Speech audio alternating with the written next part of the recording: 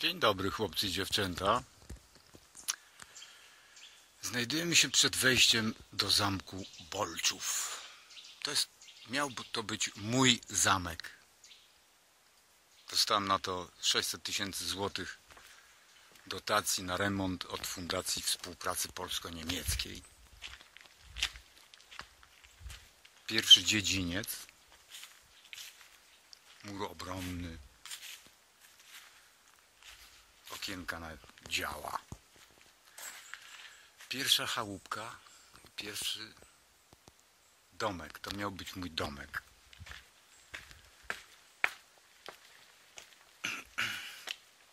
Zwróćcie Państwo uwagę, że właściwie tu są dwie izby.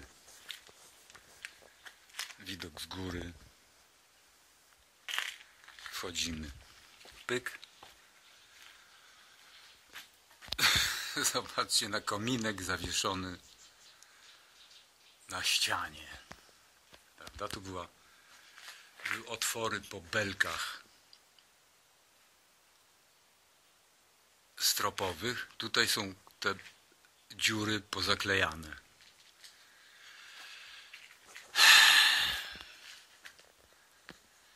I tam jest gzymsik, na którym można po, położyć murłatę i walnąć dach. Okienka strzelnice, duże okno. Idziemy dalej.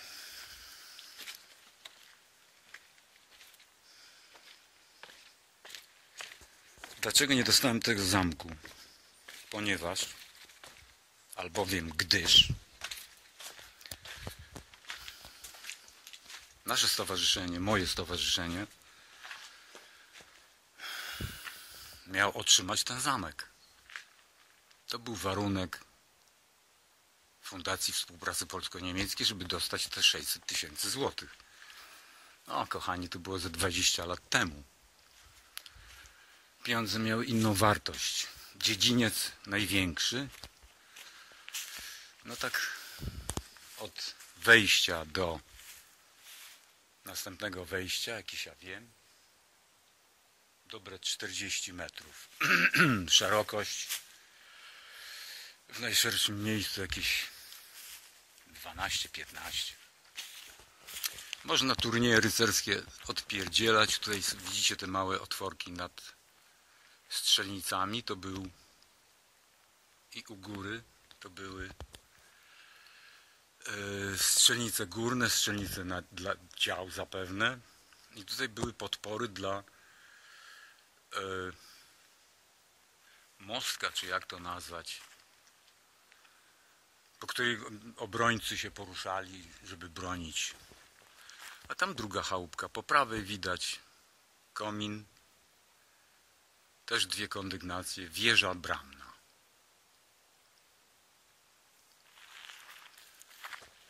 Dziedziniec, następny mały dziedzińczyk.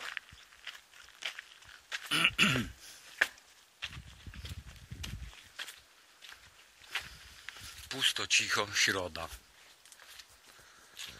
Jakieś resztki murów po jakichś komnatkach. Widzicie te zwalone głazy?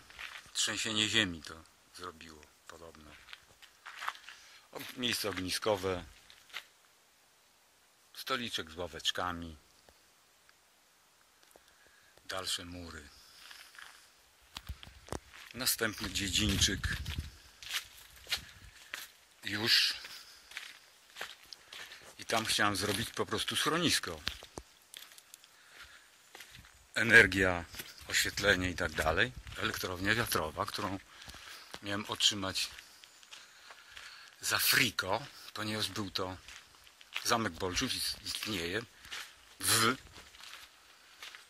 tu widzimy po prawej rycerza Marcina salwę. Studnia byłbym się wpierdaczył do środka. Studnia mówią cysterna na wodę. No dobrze niech będzie cysterna na wodę. Tu co widzimy te ruinki to jest po prostu wejście do piwniczki. Dawniej było schronisko. Bo nad tymi murami Bizon, y, pan Marcin twierdzi, że faktycznie tu, tu jest dobudowa, czyli wyrównany mur, dża, dża, dża, dża, dża, dża, dża, do tamtego. Tu uzupełnić tą ścianę, kurczę, z, nie wiem, z wejściem, z oknem. Musiało być wejście.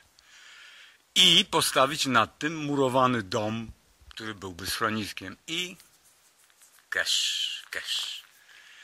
Popatrzcie na te schodki.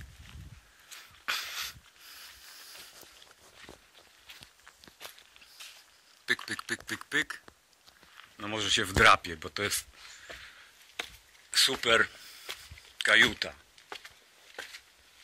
Siedział tutaj smętny rycerz z pałą w łapie i patrzał w dal, czy nie zbliża się wróg. Proszę bardzo, to jego przybytek. Strop zrobiony metodą kolebkową. Pyk, pyk. Resztki zabytkowego tynku. Widok zabójczy. Słońce ostatnich kresów nieba dochodziło w dół, jakiś ja wiem, z 20 może metrów. Dalej. Idziemy dalej. Kute w skałach. Jak pierwszy raz zobaczyłem, jak studiowałem w Krakowie, kumpela zrobiła rajd. Zakochałem się w tym zamku, to był początek lat 70.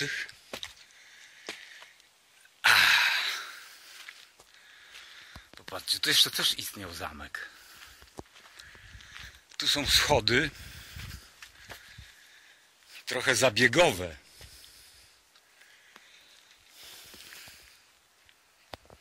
To jest ten zakręt schodów, które prowadziły na jakąś wieżę, prawda? Resztki murów. Zobaczcie, jaki tam jest widok. Przepięknie położony zamek. 600 tysięcy złotych na remont. Mała elektrownia wiatrowa. Czegoś chcieć więcej. Obok, tamtej stronie z góry wypływa źródło, naturalne źródło, czyli czegoś trzeba do szczęścia.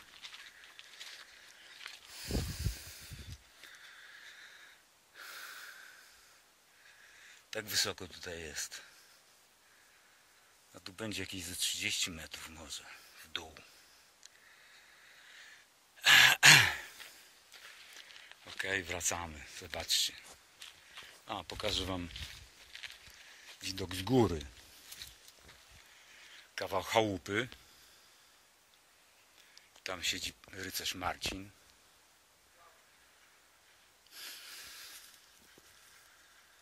Oczywiście lekko obsrane tam na dole. Kurczę, pladę. I ponieważ yy, nadleśnictwo Kowary, którego zamek był wtedy własnością, bo teraz widzę nadleśnictwo Śnieżka yy, we władaniu nie przekazało zamku Bolczów naszemu, mojemu stowarzyszeniu Teatr Performer i po prostu 600 tysięcy złotych poszło się paść na zieloną trawkę.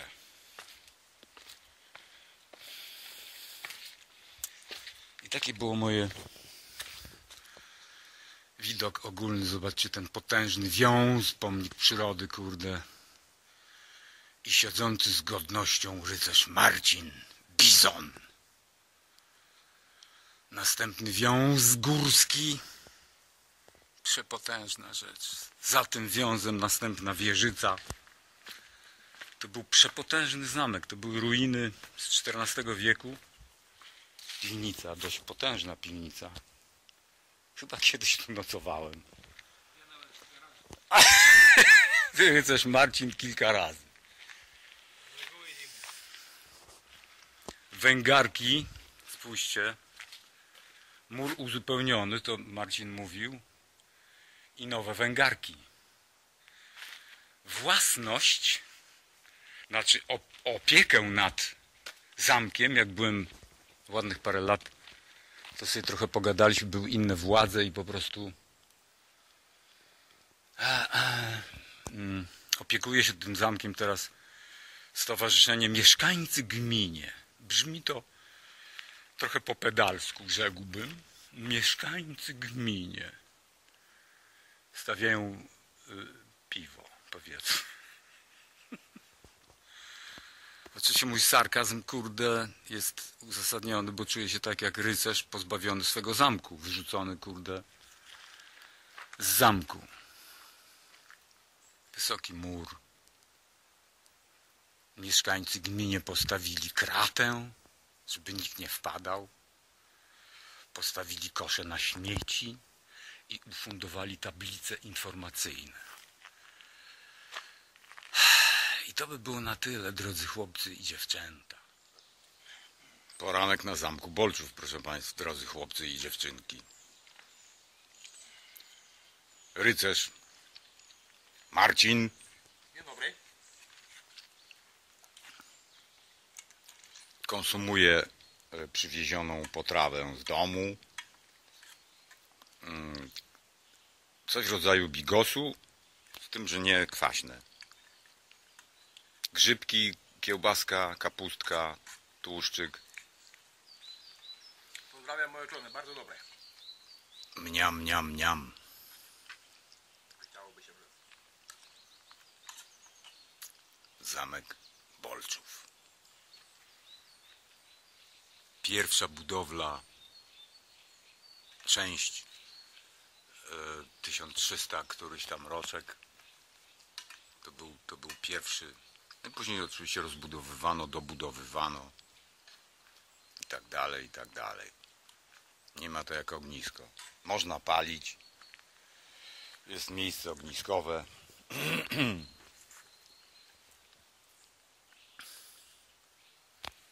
Jeszcze tylko ogląd.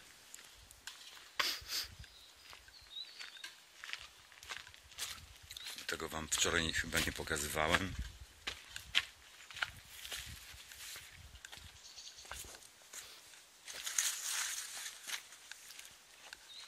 Ścieżeczka, tup, tup, tup, tup, tup. Okieneczko, tup, tup, tup, tup. Schodki, tup, tup, tup, tup. Cyk, myk, pyk.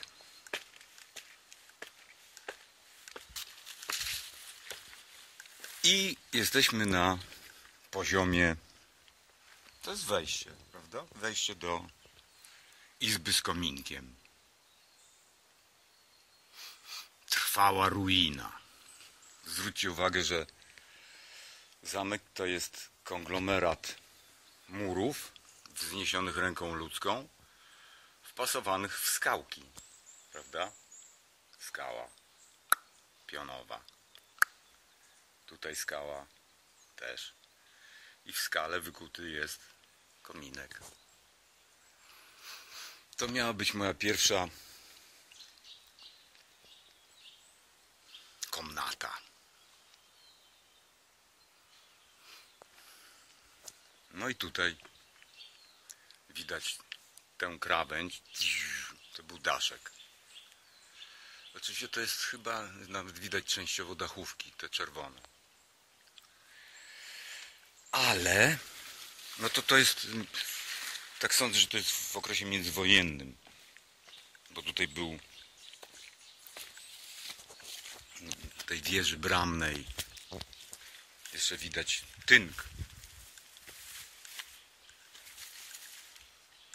Mieszkańcy gminie. Zamiast powyrywać te drzewka, kurde, po- pousuwać, to, to wszystko zacznie rozpieprzać mur, to nie, zrobili trwałą ruinę. Okienka strychowe, te małe, poziom podłogi chyba, czy z tropu. No i się mieszkało. Widok na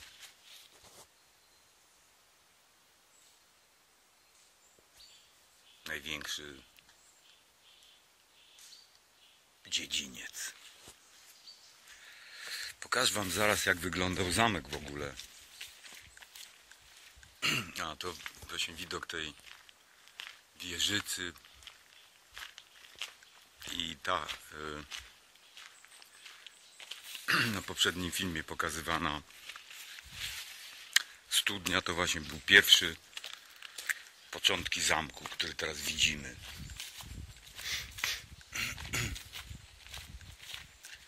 Właśnie s- dzi- strzelnice dla działu. Tak przypuszczam. Na pewno nie było okienka do że księżniczka wygląda. Żeby sobie księżniczka patrzyła no proszę. Skały i na tych skałach jest usadowiona budowla ręką ludzką czyniona.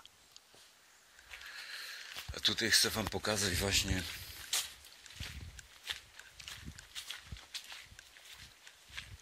fotę zamku jak wyglądał piękny kurczę zamek. A panowie mieszkańcy gminie zrobili z tego trwałą ruinę. Przy aplauzie. O, to jest właśnie fota. Zobaczcie jak ten zamek wyglądał. To była potęga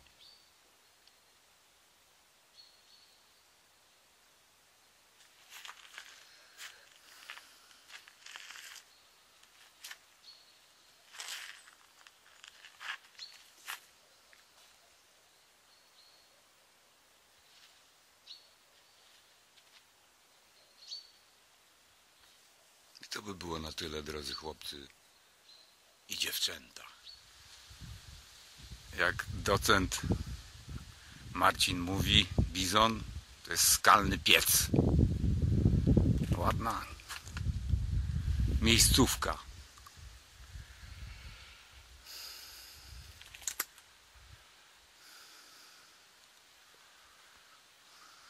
Rudawy Janowickie drodzy chłopcy i dziewczęta.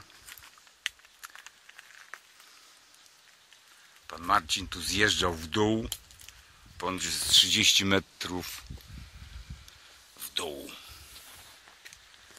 na linach. Na dole jest potoczek, piękne miejsce, bo ta skała robi przewieszkę taką, więc Marcin tam spał sobie. Piknie, piknie jest w tych górkach. O. Bizon pokazał mi datę. Uformo... Kurde, widać coś? 1843 albo 45.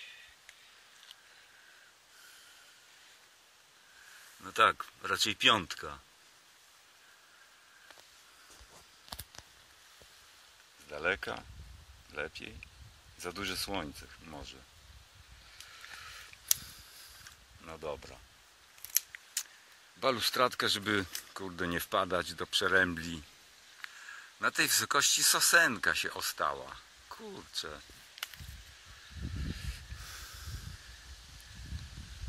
Następna sosenka, ale numer. Bukiew. Od jasnej cholery tego jest.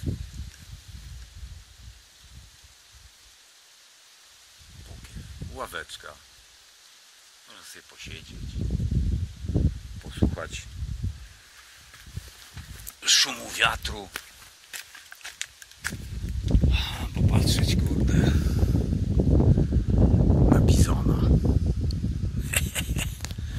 I to by było na tyle, drodzy chłopcy dziewczęta. Starościńskie skały, proszę Państwa. Niezła miejscóweczka. Tup, tup, tup, tup, tup, tup. I wchodzimy, taki znaczek. Wchodzimy w takie coś. Książę Hohenloren. Dobrze powiedziałem? y, zrobił tutaj jaka rzeźba erotyczna wręcz. Henry Moore się kłania. Tup, tup, tup, tup, tup, tup. Tam można sobie też luknąć, zerknąć. Oczywiście dalej to jest przepastna głębia. Śnieżkę widać, kurczę. Ten koło tej tego świerczka koło tego świerczka ten szczyt to jest śnieżka. Ale jaja. I pasmo karkonoszy. Trzask, prask z prawa na lewo. Popatrzmy tutaj. Jakie rzeźby.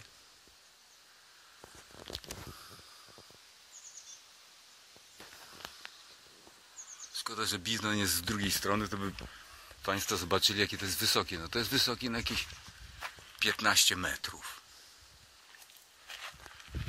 Okej.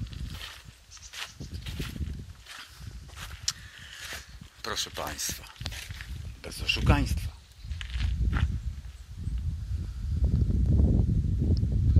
Starościńskie skały.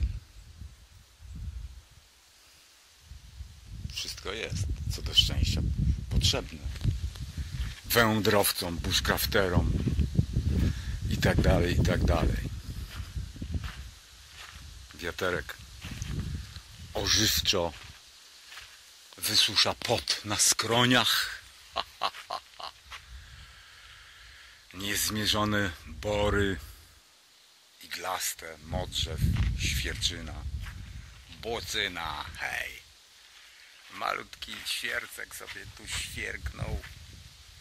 Tam nie będę las, bo się kurna gdzieś spierdaczę. Można sobie cykmyk pyk, kilka osób. Elegancja Francja. Nawet są patyczki na zostawione patyczki na kiełbaski. Ognisko powinno się przychodzić z prawej strony, co niniejszym czynię, żeby ognisko się po prostu nie obraziło. Tajemną ścieżką wśród skał. Au, au, au, au. Podążamy dalej.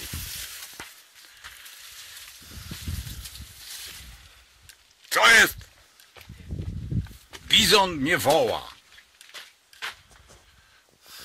Przejście skalne. Wrota skalne.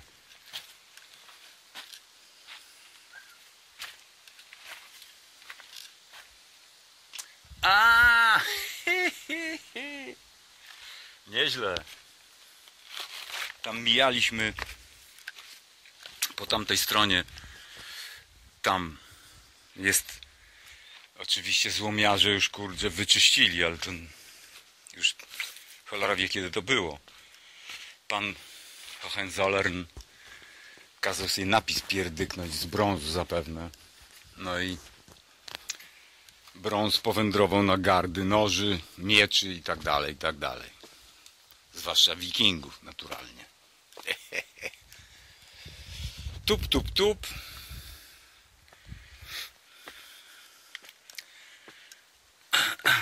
Schodki wykute w granicie. Proszę Państwa, następne schodki, następne schodki.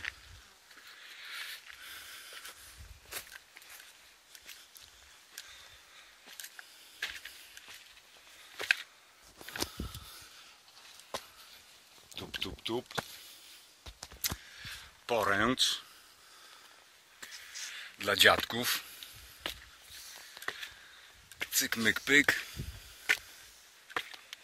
No, kochani.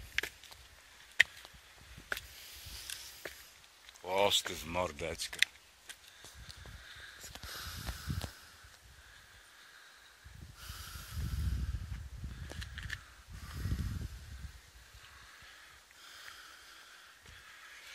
Nie wiem, ktoś tu sobie miał niezłą, niezły wymiar.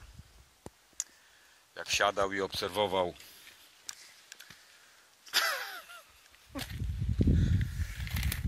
ale też tak jak na Zamku Bolczu są też takie dołki, dziurki. No pewno zostało jakieś zadaszenie i obserwował jakiś wierny rycerz. Ciekawe atrakcje w okolicy. Zacznę oczywiście od mojego zamku.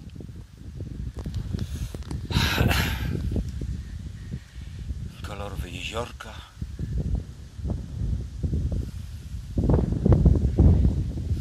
Mała ostra koło skalnika. Nie wiem czy nie, nie za ostro prześwietla, bo kurde, co to? No jak zwykle. No i cała panorama. Kurczę, pokazywałem już wam, że gdzie jest Śnieżka, no za tymi za tymi za tą błocyną. A, widać ją. O, tam. E, e, e, e, e. O, tu gdzieś. I to by było na tyle, drodzy chłopcy i dziewczęta. Znajdujemy się przed e, legendarnym schroniskiem Szwajcarka, obecnie PTTK. Zwróćcie uwagę na więź bedachową, e, pardon, na, na te, no nie wiem jak to się nazywa, te, co w, wypuszczają się poza obręb dachu. Oczywiście y, y, książę Wilhelm von Hohenzollern wybudował dla swojej Bogdanki, która pochodziła ze Szwajcarii, wybudował domek w stylu szwajcarskim. Malutkie okienka. Oczywiście z, z modrzewia, budowla jest z modrzewia, malutkie okieneczka z okiennicami. Drewienko na zimę. Na górze książę rezydował. Na dole, nie wiem, książę z Bogdanką zapewne. Obecnie jest to e, schronisko turystyczne. Dobre piwo tu podają, czeskie. Natomiast e, budynek jest dookoła otoczony takim gankiem. To jest cecha właśnie domków szwajcarskich. I niestety mm, są dwa wejścia. Jedno wejście jest tutaj, gdzie głosi niestety. Koniec bajki, bomba trąba, szacowne mury, e, e, szacowne, to jest, a, to jest szlifierką kątową oskrobane, słuchajcie, widać fakturę nawet od kątówki i walnięte pokostem czy czymś, no trudno.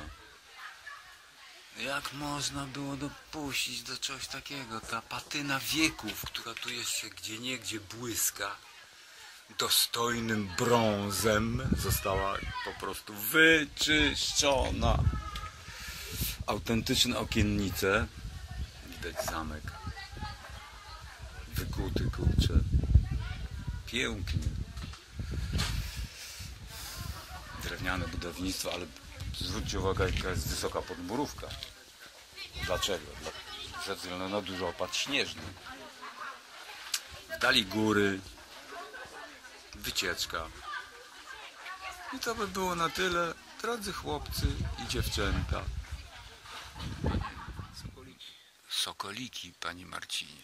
Tak, sokoliki. Popatrzcie na skałkę. Zobaczcie, tu jest pion.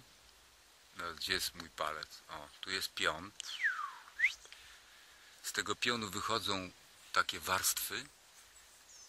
I ten pion tutaj robi w prawo i są trzy potężne głazy Rzeźbiarz by kuźwa tego nie zaprojektował. To jest jakiś architekt tu pracował. Za Niemca. I tutaj pyk, kurde, bucek, bucek, kurna. Krzątający się pan Marcin, tam migla, migdaląca się para.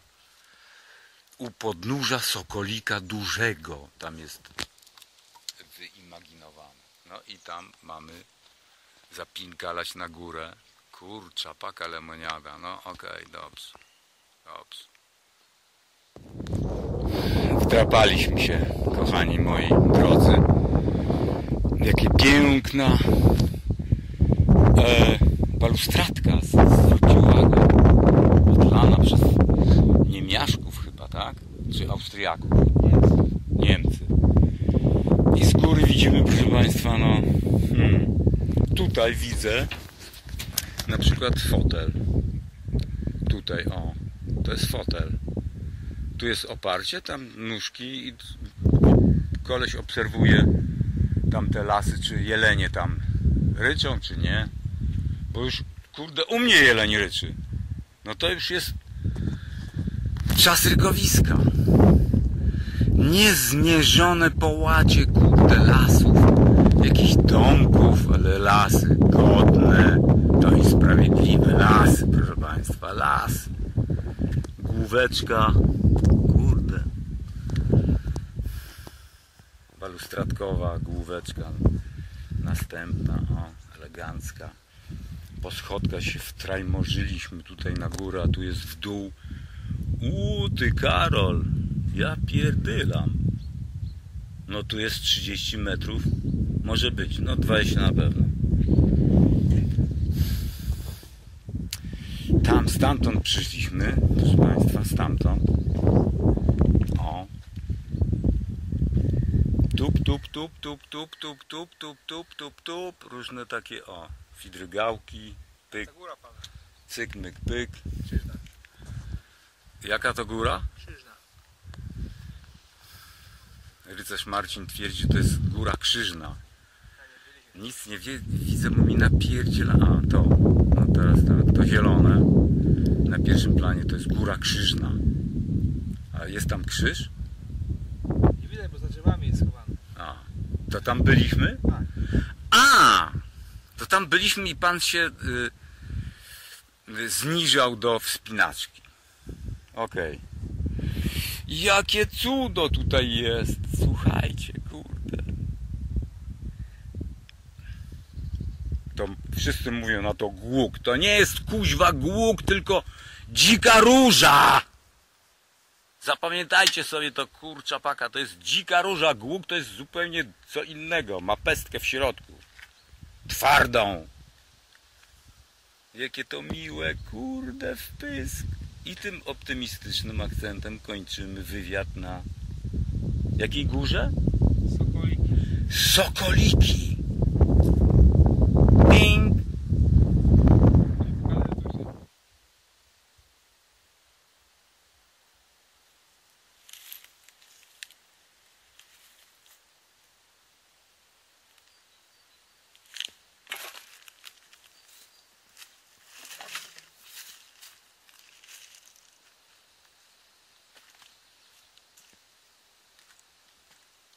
Zabierz swoje śmieci ze sobą. Szkoda, że nie widzicie z tyłu tej skalnej. A, trochę widać. Super. Nad bizonem wisi skała. Tam jest wejście do jaskini. Tam, tam, tam. Kurde, tam.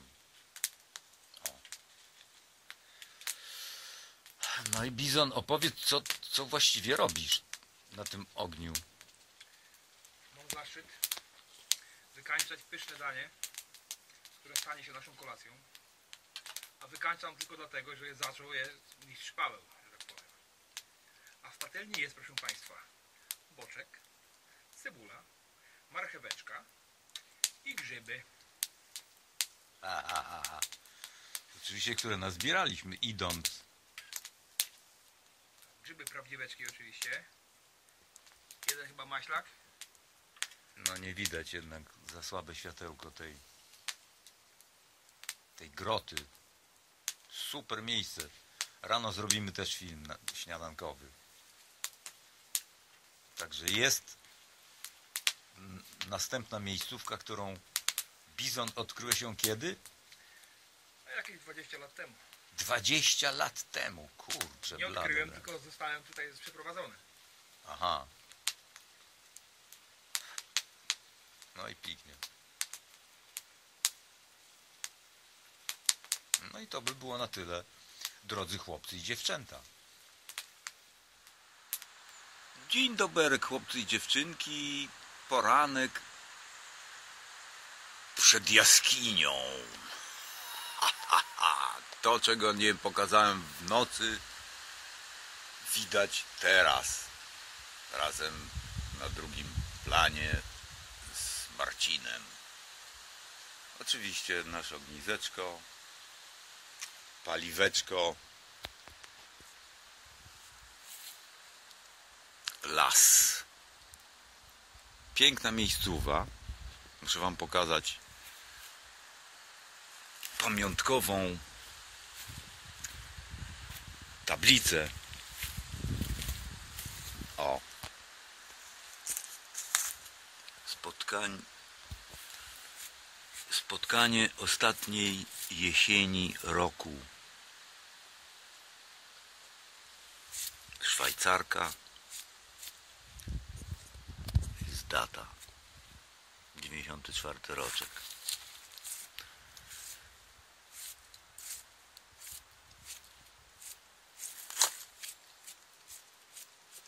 Ufundowali absolwenci geodezji WSR Wrocław.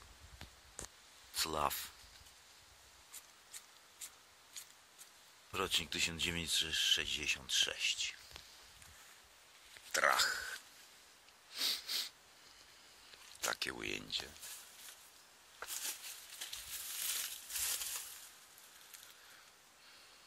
Także zro...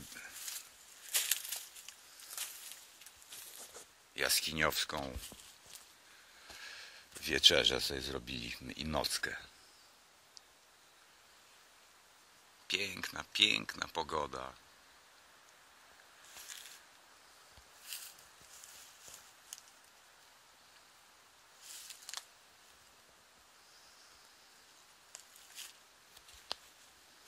Nazbierałem sobie w jasną cholerę.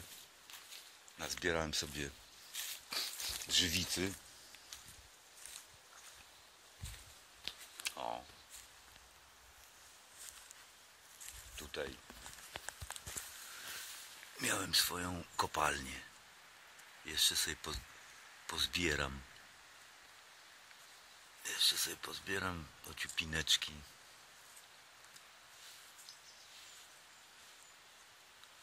Ktoś jęczał. Dziadku Pawle, pokaż jak robisz klej z żywicy. No to teraz będę miał. O, a tam wejście do następnej jaskini. Następne wejście chyba do tej samej jaskini. Nie wczołgiwaliśmy się, bo szukaliśmy długo tej, tego miejsca i przybyliśmy na sam filar podtrzymujący sklepienie. Można cała kompania ludków spokojnie sobie tutaj nocować.